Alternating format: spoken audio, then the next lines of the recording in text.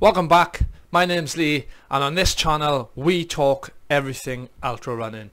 In today's video I'm going to be discussing three myths about ultra running.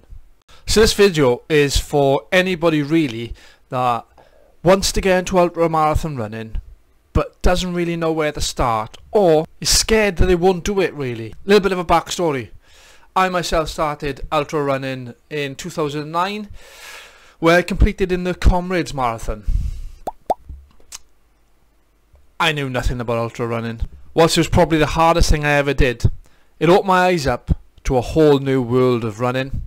And from there, I've just continued to race all over the world, from Spain to France, in Brecon, when it's raining. So I kind of know a thing or two about ultra running. The first myth I want to discuss is that you have to be an elite runner. You don't. When I started, I had no clue. The furthest I'd ever run was 16 miles, and that was once. And I say run, I mainly walked.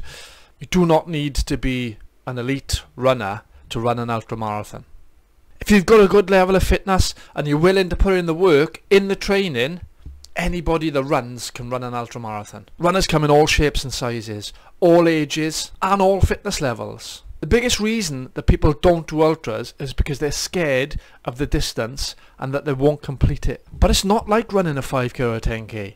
You don't have to go flat out. And that brings me on to my second myth of ultra running. People get this conceived idea that ultra runners run from the moment you start the race until you finish. If, like training for a marathon or a 10k, where you're completely flat out and there's no time for rest, ultramarathon is a complete different ball game.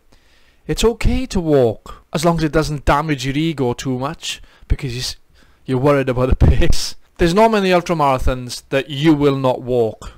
Back to walking the hills. The run walk strategy is adopted by I'd say over 75-80% of ultramarathon runners. It's only at the very top, the elite, where they run the ultramarathon from start to finish. And that's okay. Think about the distance you're covering, not the pace you're going. And last but not least, the kit. Many people think that ultra running is expensive, but it can be as expensive or inexpensive as you want it to be. Personally, myself, if it does the job, then I don't care. Take for instance my running jacket. Waterproof jacket from Decathlon, I paid £15. Some jackets go up to 150 quid. I've paid 10% of that cost. It doesn't have to be expensive. As long as it's fit for purpose, then you're good to go. To summarise this video, ultramarathon running is for everyone. You don't have to fork out on expensive kit. You don't need to be an elite runner. And it's okay to walk. If you found value in this video and you'd like to know more about ultra running, smash that subscribe, comment down below, have you run an ultra marathon? If not, why not?